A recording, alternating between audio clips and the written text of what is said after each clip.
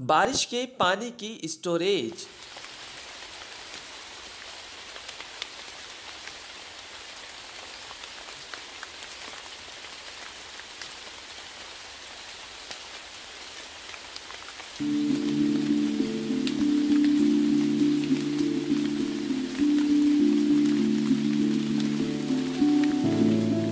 बारिश के पानी की स्टोरेज बारिश के पानी को जमा करने और जखीरा करने का एक अमल है, जो छतों, पार्कों, सड़कों, खुले मैदानों वगैरह से बहता है।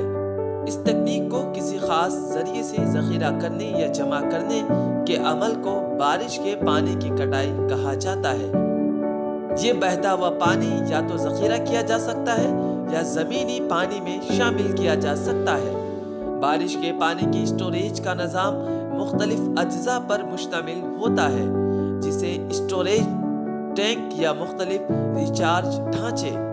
बारिश के बाद इस पानी को पैदावारी मकासद के लिए जमा करने के अमल को बारिश के पानी की स्टोरेज कहा जाता है। दूसरे लफ्जों में, बारिश के पानी की स्टोरेज आपके छत पर गिरने वाले बारिश के पानी को आम तरीके से जमा करने और इस्तेमाल करने का अमल है। पानी की किल्लत दुनिया भर में एक मसला बनती जा रही है। उसकी वजह ज़मीन के पानी की सतह का मुसलसल नीचे जाना है। बारिश की पानी स्टोरेज की ज़रूरत। आज खालिश पानी की कमी तशवीश का बास बन गई है। बारिश का पानी ज़ाय हो जाता है। अगर उसे जमा किया जाए तो पानी का बहरान किसी हद तक हल हो सकता है। ये एक अच्छा ऑप्शन है। बारिश का पानी जमा करने के लिए मौजू जगह आमतौर पर बारिश के पानी की स्टोरेज कहीं भी की जा सकती है। इस तरह बारिश के पानी की स्टोरेज मुख्तलिफ़ जगहों के लिए बिल्कुल मौजू है। कम जमीनी पानी वाली साइटें आलूदा जमीनी पानी वाली साइटें पहाड़ी पानी साइट्स खुश्क साली या सैलाब से मुतासरा मकामात आलूदा पानी वाली साइट्स कम आबादी कसाफत साइट्स आला मादनियात और नमकीन पानी वाली साइट्स बारिश के पानी की स्टोरेज के फवायद।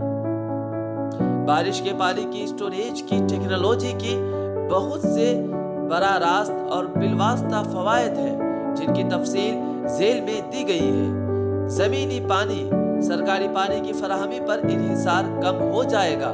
जहाँ पानी के जराए नहीं है, वहाँ ज़रिए काम भी मुमकिन हो सकता है। आला मैार और खालिश पानी दस्तियाब होगा। सैलाब के रफ्तार को कंट्रोल करने से मिट्टी का कटाव कम हो जाएगा। गिरने वाले जेर ज़मीन पानी की सतह को ऊपर लाया जा सकता है। ये पानी के ज़रिए काम करता है। गुंजान आबादी वाले इलाकों में पानी की कमी को कम करने में मदद करता है। बारिश के पानी को जखीरा करने के लिए दर्ज झेल इकदाम किए जा सकते हैं। इन इकदाम के ज़रिए ज़मीन के अंदर पानी की गिरती हुई सतह को ऊपर लाया जा सकता है। बराह रास्त जेर ज़मीन। बारिश के पानी को एक गिढ़ी के ज़रिए बरह रास्त जमीनी पानी की फराहमी के लिए इस्तेमाल किया जा सकता है। गड्ढे बनाकर रिचार्ज करना।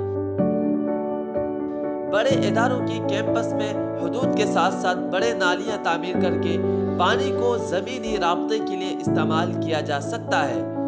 कुओं और ट्यूबवेलों में पानी डालना। बारिश का पानी घरों के छतों से घर के करीब या किसी भी कुएँ तक पाइप किया जा सकता है। ये पानी ज़मीन के नीचे जेर ज़मीन पानी की सतह को बुलंद करता है।